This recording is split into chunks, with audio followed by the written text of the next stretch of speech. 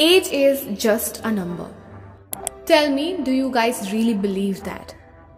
I mean, this topic is all about the age differences that we face in any course we go, but right now, since I am doing my BDS, I mostly talk about my profession, and so I got a plenty of questions about how do people perceive someone who is much older than the people in first year. I know from where this type of emotional questions arises and also we need to be very much socially aware of this kind of things because it does affect our mental health. So i have chosen this topic and i will be talking about my personal opinion about this topic. So recently somebody has just asked me the i have dropped for 5 years. I am gonna pursue bds and what are the people's opinion.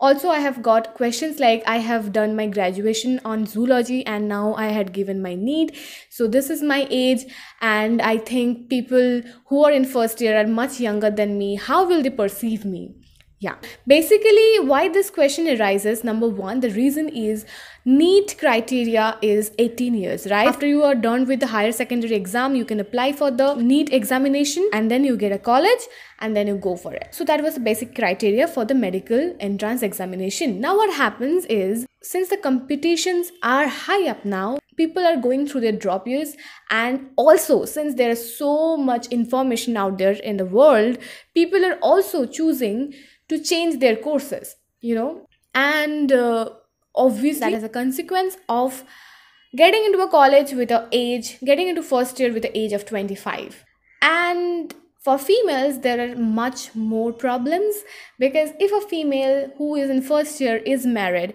it's a much more concerning way for the society to receive that person right? Because first year man we are chilling people are doing their own stuffs we are figuring out and a person comes married.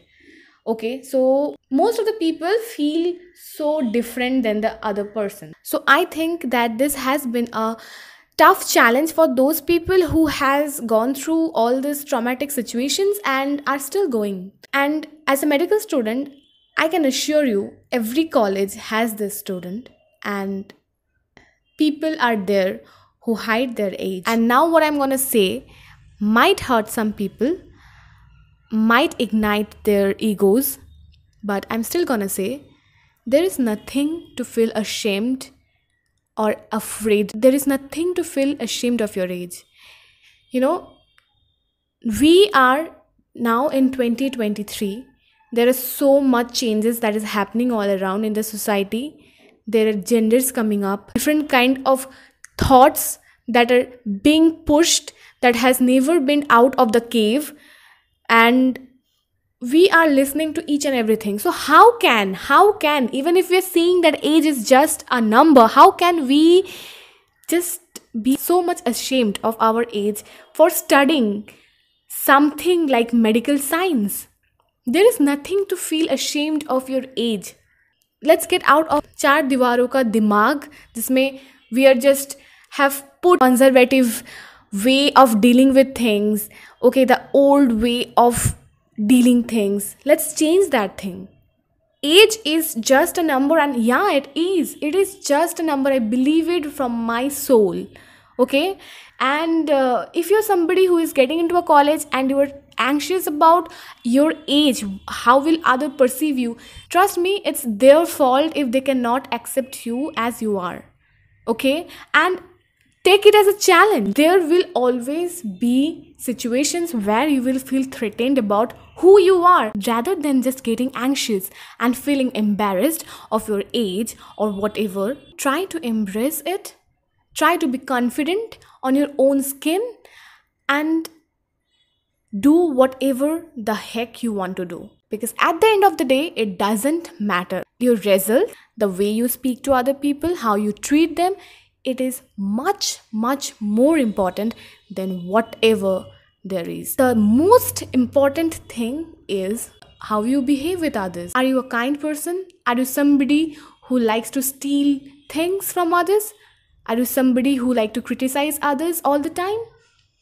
It's your choice though but really just think of this thing. Age cannot define your abilities. Now at least now when we can just see all those people achieving their dreams age cannot be a thing that will define your abilities to do anything. And so come out of that shell i was also a person who was insecure about my age at certain time but i decided that i will not. I had my two drop years but that didn't change my mindset of thinking about how will other people think about me. It doesn't matter. Actually it doesn't matter. Okay? So there is nothing to worry about it.